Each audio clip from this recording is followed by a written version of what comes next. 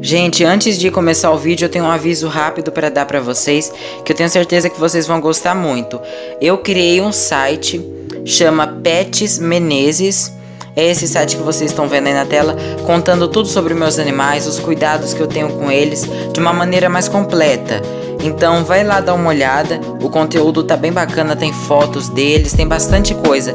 Eu criei para vocês verem. E é só escrever lá no Google Pets Menezes. Obrigado.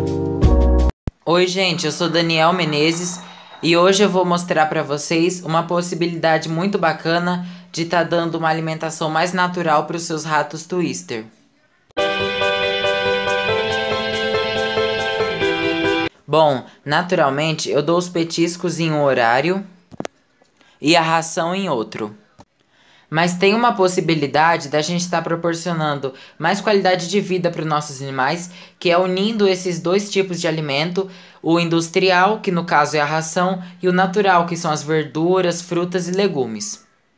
Eles gostam dos dois, tanto a ração quanto os alimentos naturais. Mas se a gente fazer dessa maneira aqui, eles gostam mais ainda. Olha, aqui tem a selga, folha de acelga, a ração deles e cenoura picada. Tudo já descongelado, tá, gente? Sem gelo. Nunca pode dar coisa gelada. Sempre espera um pouquinho quando tirar da geladeira. E é, ficou tipo uma salada. É a primeira vez que eu vou oferecer dessa forma para eles. É tipo um mix, é, misturando frutas e legumes com a ração extrusada deles. Geralmente, eu dou os petiscos primeiro e depois a ração. Mas vamos ver se eles vão gostar dessa forma. Olha só, vou oferecer uma folhinha de acelga pro Tum Tum. O Bob pegou dele.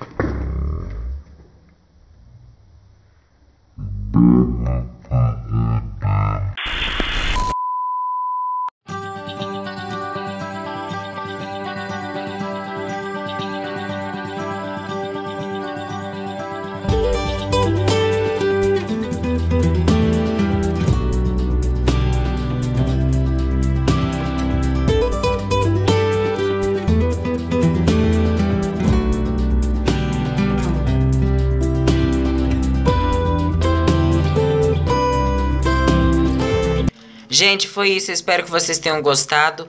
E um recado muito importante: nunca ofereça só comida industrial para os seus animais.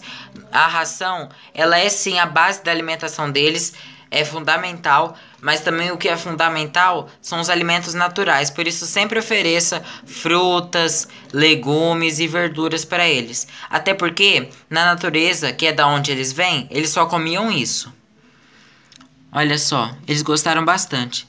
Então é isso, gente. Muito obrigado.